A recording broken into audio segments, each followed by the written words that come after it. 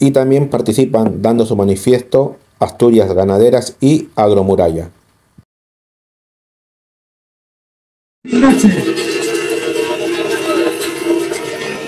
Quiero, quiero que prestéis atención a dos grandes personas, a Joan Vascuas de, Asturias Ganadera y a, mi, compañero Roberto, digo compañero por gallego de Agromuralla, ¿de acuerdo? Roberto López. Quiero que nos escuchéis porque tengo un trocito de mi corazón gallego y español con ellos.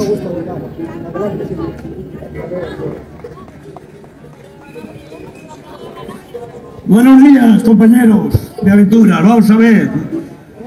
Eh, los problemas por los que luchamos en Asturias desde hace muchos años se parecen a los de la mayoría de vosotros.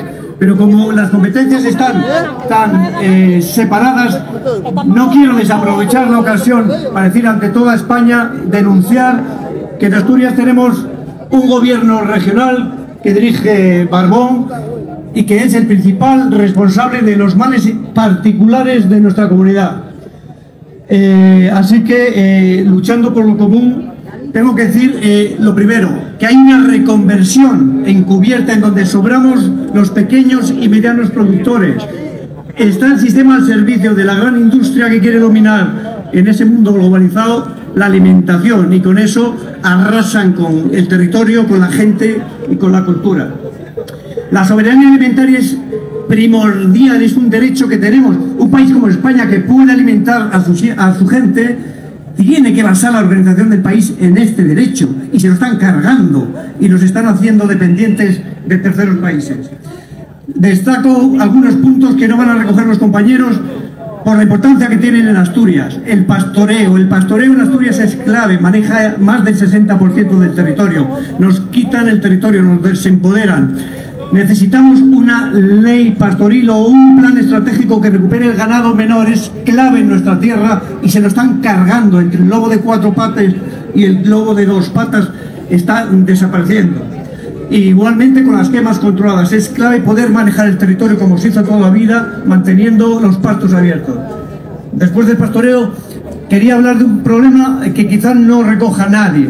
El tema del despoblamiento rural no se puede abordar con ideas peregrinas de futuristas de neocolonización. Hay que basar la recuperación de los pueblos en la defensa de la estructura agraria tradicional y a partir de ahí eh, cualquier otra historia. Y para eso una medida particular demandamos. Una ley al estilo francés que defienda, que proteja los olores, del campo, los sonidos, para que no nos multen porque una vaca muere a 65 decibelios. Nada más, os dejo. Asturias, puse España, Roberto.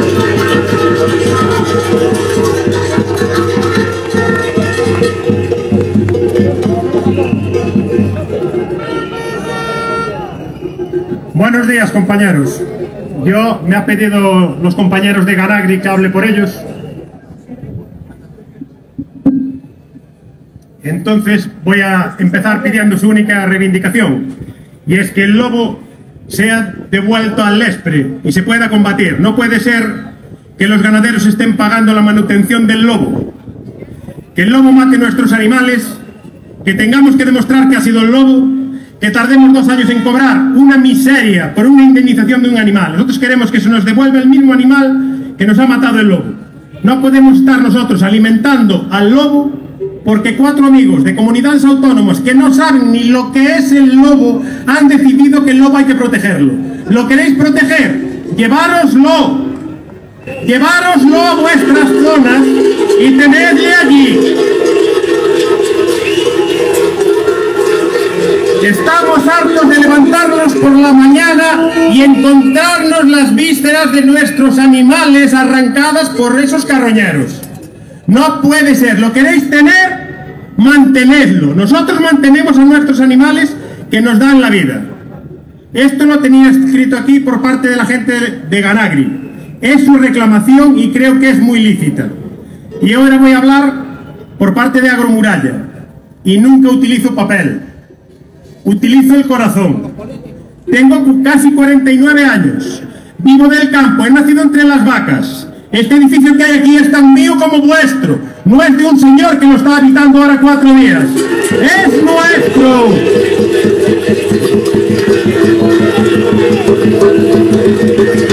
Mirad. Perdonad, tengo poco tiempo y quiero aprovecharlo.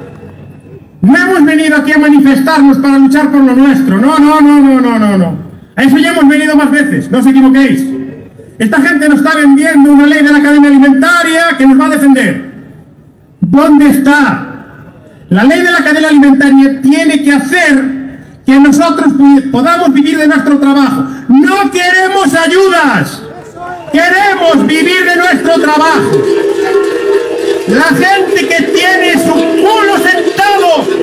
los despachos del ministerio se cree que porque publiquen el boletín oficial del Estado una línea de ayudas de un montón de millones que pagan todos los ciudadanos que ahora están de puente y nosotros aquí, que sepáis que no las queremos. Queremos vivir dignamente de nuestro trabajo.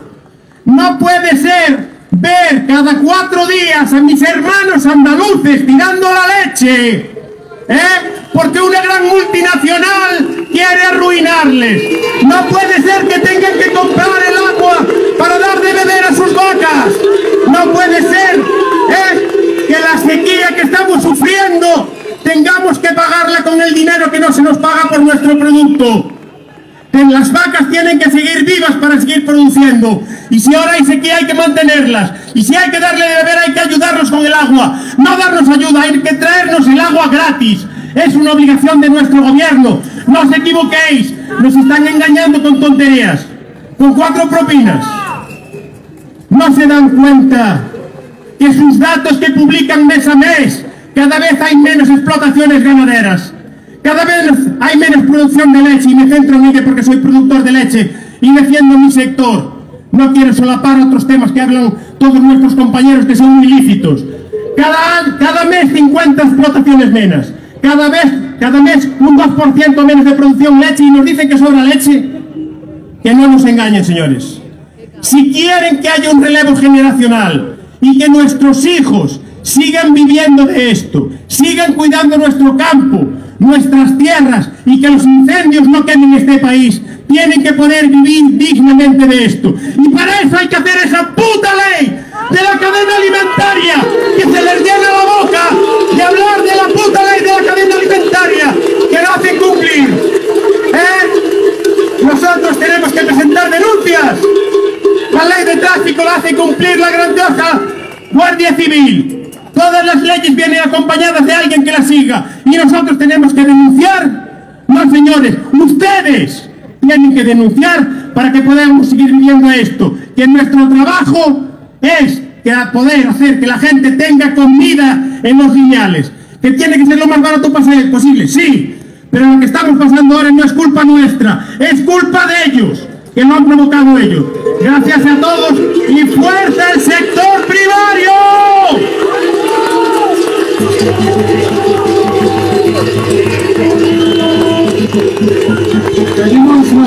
Los productores